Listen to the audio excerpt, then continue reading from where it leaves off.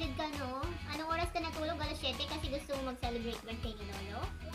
Okay, hintayin natin si Lolo ha, pumunta siya sa church. Okay, thank you darling. Galing mo talaga. Love you.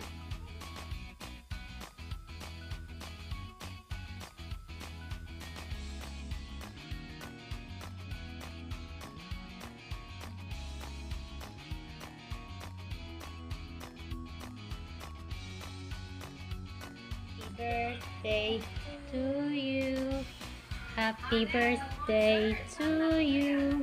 Kanta mo ng malakas, darling.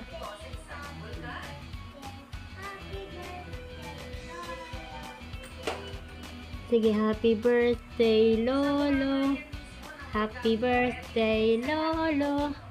Happy birthday, happy birthday, happy birthday, Lolo. Ikaw na lang mag-blow, darling. Ano sasabihin mo kay Lolo?